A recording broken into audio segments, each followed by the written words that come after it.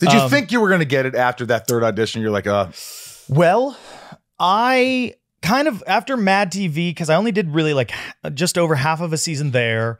I was asked back, but like at a reduced thing, and my reps were like, "Don't do it," and I was like, "Oh, okay." And I was like, "Why did I do that?" And they weren't paying you well there. No way. they were paying me three thousand dollars more a week than when I got SNL ten years later.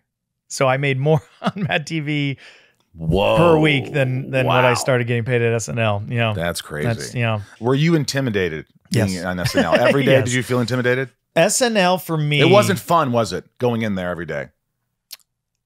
sometimes sometimes it was the most fun it really was and mad tv helped me because going into snl like i would say the first two years i knew to just like appreciate every day sit in the pocket do good work put your best foot forward and you know but understand this is you know there are seniors and you're a freshman and understand that.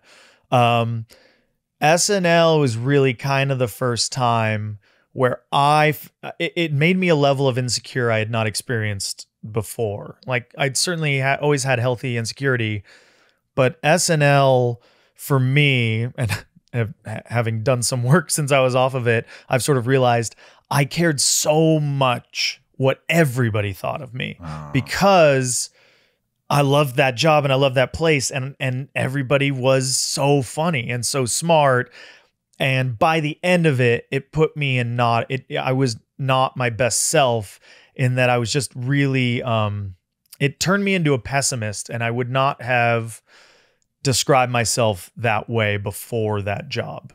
and, and it, it broke you down a little bit. Yeah. Yeah. By the end of it, by the end of it, it was, it was also like having to kid, you know, it's not, it's not, it's a young person's show. It's a show that I think wants all of you and, and kind of deserves all of you. That's the best way to do it is that like, you're there as much as you can be and you're available for everything. And then when on the off weeks, you're hanging out with everybody and you're planning trips to Europe, Costa Rica, whatever, you know, you're bonding.